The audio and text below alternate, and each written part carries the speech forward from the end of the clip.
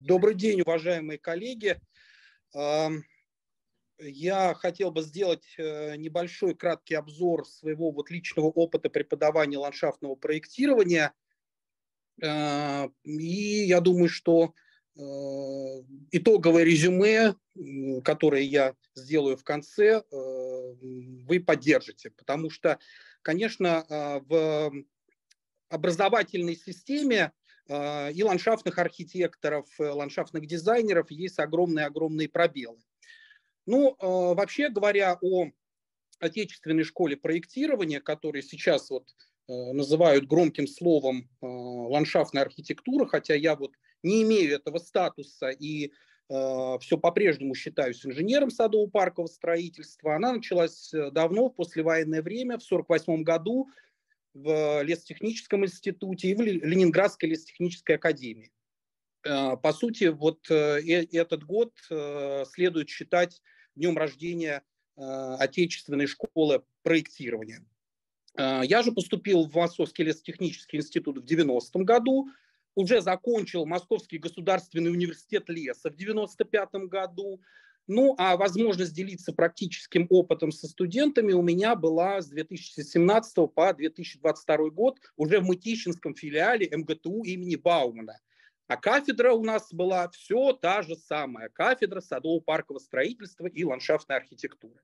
Поэтому, в общем-то, учитывая богатую более 70 лет историю становления, развития, расцвета, э, временного застоя, возрождения – ну, я считаю э, важным ответить богатство опыта, знаний, направлений, которые мне посчастливилось получить э, у своих учителей, преподавателей.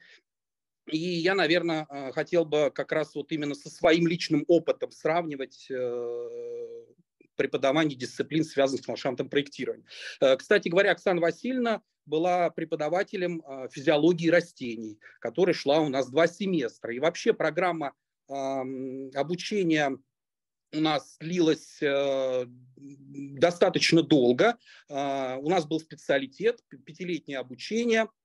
А, базировалось, конечно же, на лесоинженерном подходе, а, в котором огромное значение придавалось эм, э, междисциплинарным, э, значит, междисциплинарному подходу, большое внимание уделялось академическим наукам, и прикладным наукам. А, и на все на это уходило, да, достаточно большое количество а, времени. Так, например, вот ботаника у нас была два семестра, лесоводство, лесоведение два семестра, физиология растений два семестра, декоративная дендрология два семестра, древоводство, питомники два семестра, цветоводство два семестра и так далее, и так далее. Ландшафтная таксация эти все дисциплины сопровождались э, обычно летними практиками, которые проходили весь летний сезон. То есть никаких летних каникул я вот, в общем-то, и не помню.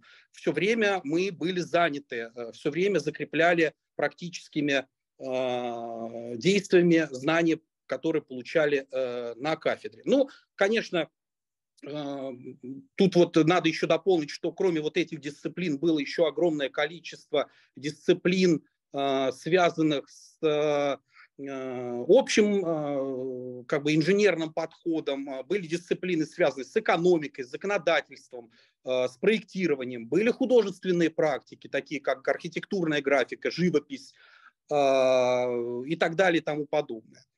Ну, могу сказать, что тот объем знаний, который я получил на нашей кафедре, он все равно после выпуска не сделал меня сразу же в полной мере э, инженером садово-паркового строительства. Честно вам признаюсь, что э, ощущение, что я профессионал и что я могу называться высокопрофессиональным специалистом в отрасли, оно пришло гораздо позже, наверное, ближе к 40 годам.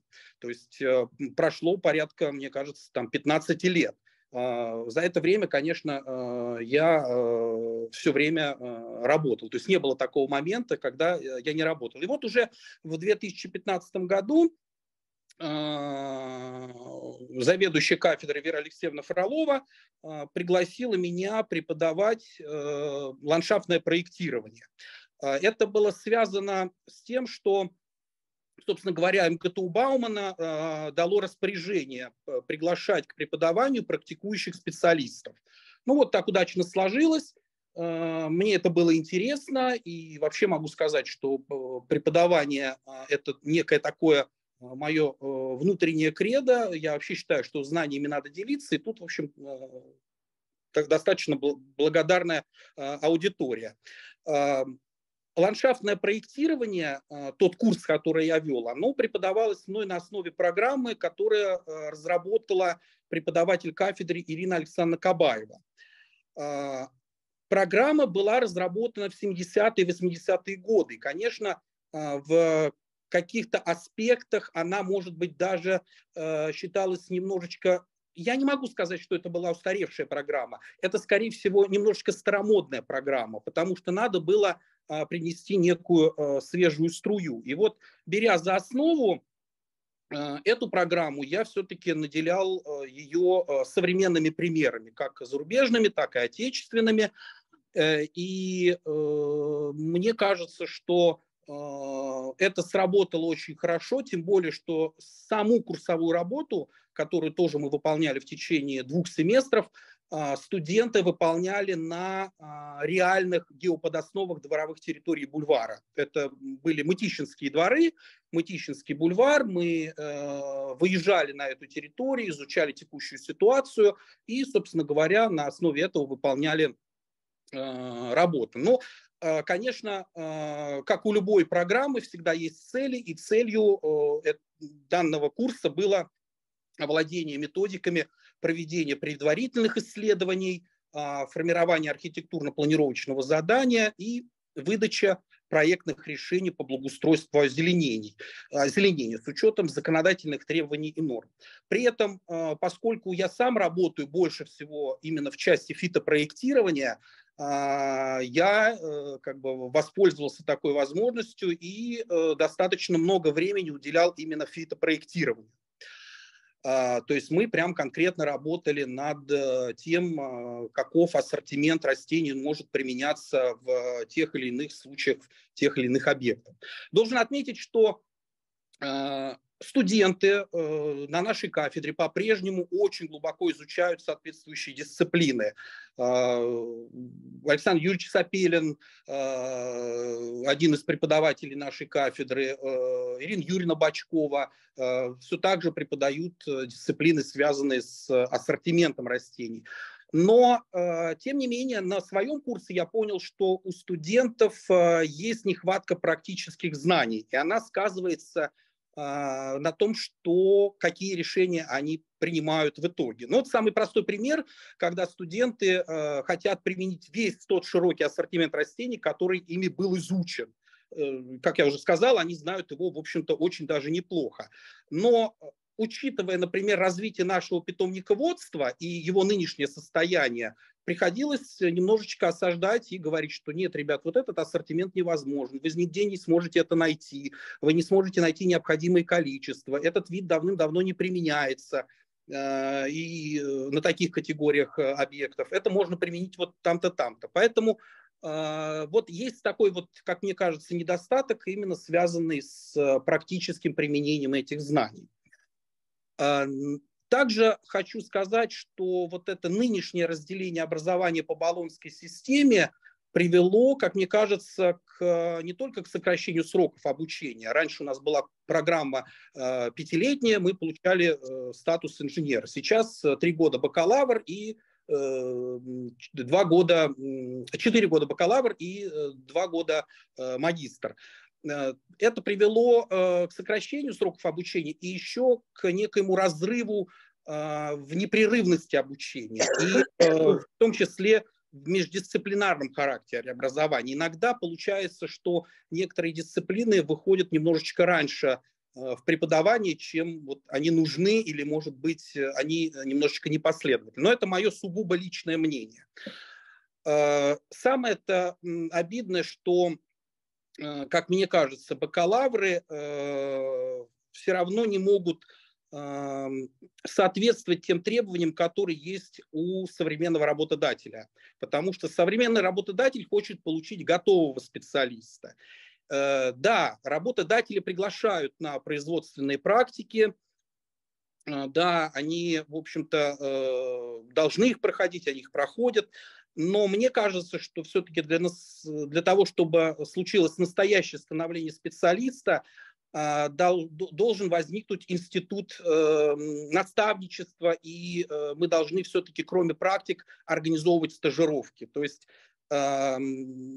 практики все-таки должны быть более расширенные в разных направлениях, потому что, как правило, студентов всегда заставляют, вот выбирай, по какому направлению ты будешь учиться. И у них есть, оказывается, э, обязательные дисциплины и необязательные. В мое время такого не было, мы все проходили все э, дисциплины по направлению и проектирования, и строительства, и эксплуатации насаждений. Сейчас же, пожалуйста, э, человек может, студент может выбрать все, что он хочет. Я считаю, что это не совсем верно, и считаю, что как раз-таки в выборе могут помочь именно вот эти стажировки. Ну, а, собственно говоря, вот э, так проходит обучение в государственном а, учреждении образовательном а, по дисциплине ландшафтное проектирование. И на противоположном крае образовательных услуг у нас находятся всевозможные курсы по ландшафтному дизайну для получения дополнительного образования или для переквалификации. Ну, э, давайте я честно признаюсь, я преподаю на таких курсах, потому что это приносит определенный доход. Э, те, э, то преподавание, которое у меня было в моем университете, в МГТУ Баумана, оно никакого дохода не приносило. Дай бог, я мог себе оплачивать бензин на автомобиль, на котором ехал для того, чтобы студентам преподавать курс. Но, тем не менее, я считаю, что наличие таких образовательных услуг э, имеет место быть. Оно э, хорошо, оно имеет в том числе и просветительскую функцию. И, конечно же, э, мы, в общем-то, э, должны все равно э, к этим курсам предъявлять определенные требования. Вообще, конечно, пандемия 2020-2022 годов сформировала и усилила дистанционную форму обучения э, с видеолекциями и с Zoom-конференциями. И вот, имея личный опыт сотрудничества с одной из таких школ, онлайн-школы, считаю важным отметить, что формированием продукта занимаются маркетологи и методисты которые не имеют никакого отношения к зеленой отрасли, и сами они отмечали, что даже вот при записях видеолекций многое почерпнули для себя. Они э, говорили о том, что типа, о, надо же, мы этого не знали, а теперь вот у нас широкий кругозор. Но в качестве профессиональных знаний в момент записи, естественно, они ничего для себя не могли отметить. Поэтому вот личное мое мнение в отношении этого вектора развития преподавания очень скептическое. Э, считаю, что дистанционная форма она а, сойдет на нет а, или будет интегрирована исключительно как вот просветительские какие-то курсы. В нем отсутствует личное эмоциональное общение, все сводится к тестированию и не может, собственно говоря, обучить проектированию в целом. Вообще проектирование – это то, что делается именно через наставничество. Еще раз говорю, и вот, этого, э, вот это отсутствие, оно исключает это самое наставничество. Без него невозможно обучить проектированию. Но тем не менее, кроме вот таких онлайн-курсов, есть еще и очные формы обучения.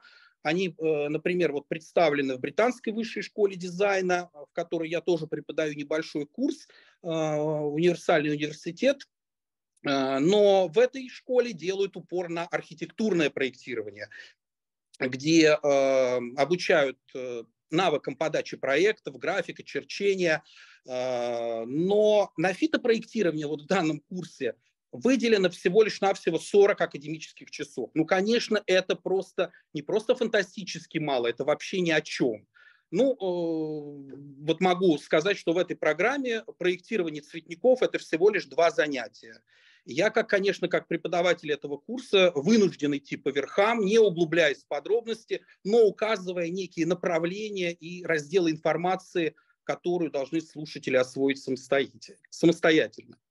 А, учитывая что, как правило, это не юные студенты, а все-таки взрослые люди с каким-то жизненным опытом, меняющие профессию, понимаю, что освоение подобной информации займет гораздо большее время, и поэтому отсутствие практики, а, конечно, а, тоже приводит к тому, что многие знания они осваивают в гораздо большем периоде времени. Ну, практика вообще как таковая отсутствует, потому что в основном а, практические задания я даю на дом, задаю на дом, и потом их э, тоже достаточно бегло проверяю. Поэтому вот, э, учитывая все вышесказанное, хочу резюмировать э, следующим образом. Можно уже последний слайд показать, что все-таки Э, классическая форма преподавания ландшафтного проектирования э, и фитопроектирования следует бережно сохранять, усиливать практическими э, знаниями, стажировками, включая прямую работу с растениями. Я считаю, что важным является поддержка института наставничества, учительства, с прискорбием а, говорю об этом, потому что те учителя, которые обучали меня, а, уходят из жизни. Это очень грустно, и надеюсь, что вот то, что мы получили от них, мы, я смогу передать э, следующему поколению. Ну, а вот все иные формы образовательных услуг следует обогащать практическими знаниями, расширять часы обучения и в итоге приводить к классической форме обучения – в противном случае мы такие услуги э, не можем считать образовательными и можем считать исключительно просветительскими. Большое спасибо.